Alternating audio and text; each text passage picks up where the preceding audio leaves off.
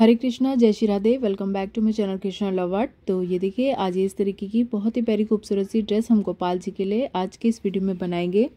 ये यहाँ पर एक नंबर और दो नंबर के गोपाल जी को आप ये इस तरीके की ड्रेस बना करके इजीली बना करके पहना सकते हैं। और इसको बनाना भी बहुत ही ईजी है, एकदम आसान तरीके से और बहुत ही जल्दी फटाफट से बन करके ये रेडी हो जाएगी।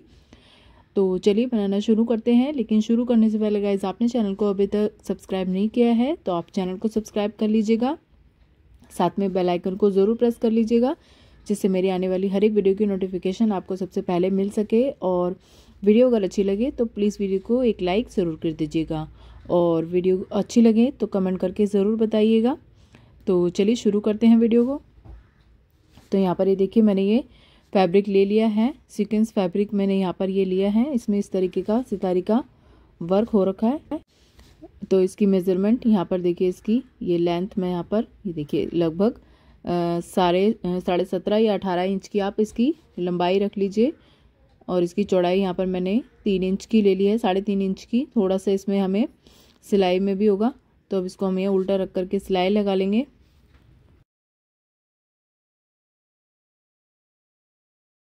तो देखिए, दोनों साइड उल्टा रख करके हमने यहाँ पर सिलाई लगाई है। उसको फोल्ड करके यहाँ से इस तरीके से सीधा कर देंगे, पलट करके। ये देखिए, मैंने यहाँ पर इसको सीधा कर दिया है।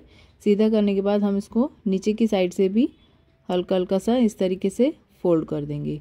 तो एक सिलाई हम यहाँ पर भी लगा देंगे एक सीधी, और फिर इसके ऊपर हम यहाँ पर लेस लगाएँगे। पहले हम यहाँ पर एक सीधी सिलाई लगा लेते हैं।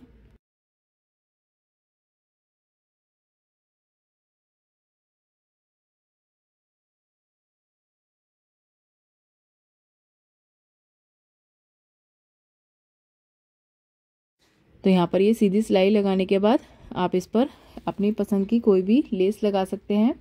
मैं यहाँ पर ये इस तरीके की बहुत ही सिंपल सी लेस ले रही हूँ। देखिए, वाइट कलर की, सिल्वर कलर में। एक यहाँ पर इस तरीके से, एक इसको भी मैं सिंपल इसी तरीके से रख करके लगा सकती हूँ। या देखिए, इसमें मैंने यहाँ पर ये भी लेस ले लिया है इसके साथ लगाने के लिए। इसमें ऊपर और नीचे की साइड, दोनों साइड ये इस तरीके से रख करके, मैं नीचे की साइड रख करके इस पर हमें सिलाई लगानी है। तो चलिए इसको दोनों साइड रख करके अटैच कर देते हैं लेस को इसके साथ।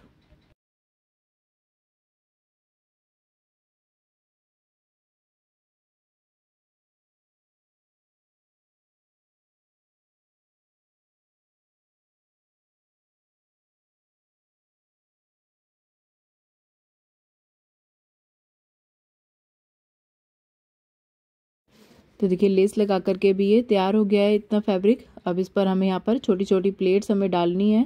प्लेट्स डाल करके तैयार कर देते हैं इसे।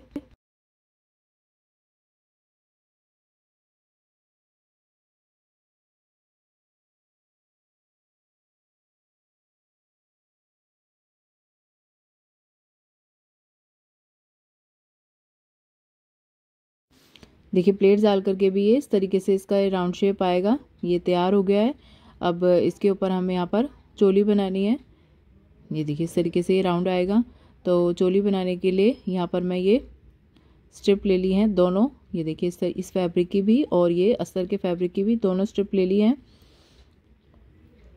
इसकी ये देखिए, जो मैंने यहाँ पर चौड़ाई रखी है, लगभग सवा इंच, सवा डेढ़ इंच की आप ले लीजिए।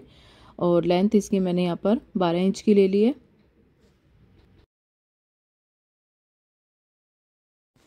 एक सीधी सिलाई इसमें लगा दी है। अभी देखिए, इस तरीके से इसको हम यहाँ पर फोल्ड करेंगे, पीछे की साइड से, इधर से फोल्ड करेंगे और इधर की साइड से आगे की साइड रखते हुए थोड़ा सा आगे की साइड इधर से फोल्ड कर देंगे और फिर एक सीधी सिलाई लगा देंगे। तो ये स्ट्रिप बन करके यहाँ पर रेडी हो जाएगी।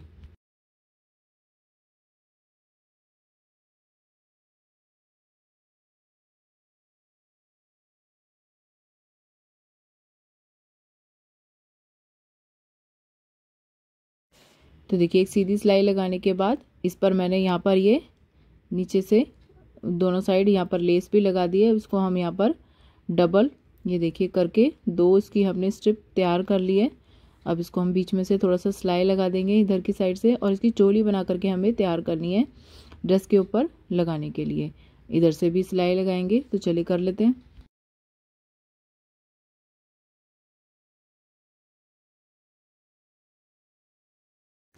तो देखिए, ये इस तरीके से रेडी हो गई है हमारी चोली बन करके अब इसको हम यहाँ पर ड्रेस के इस तरीके से रख करके ऊपर पूरे बेस पर रख करके हमें यहाँ पर सीधी एक सिलाई लगा देंगे।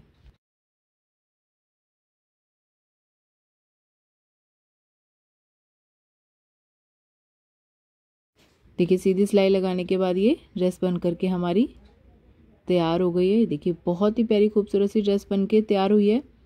और एकदम फटाफट से बना करके आप इसको रेडी भी कर लेंगे।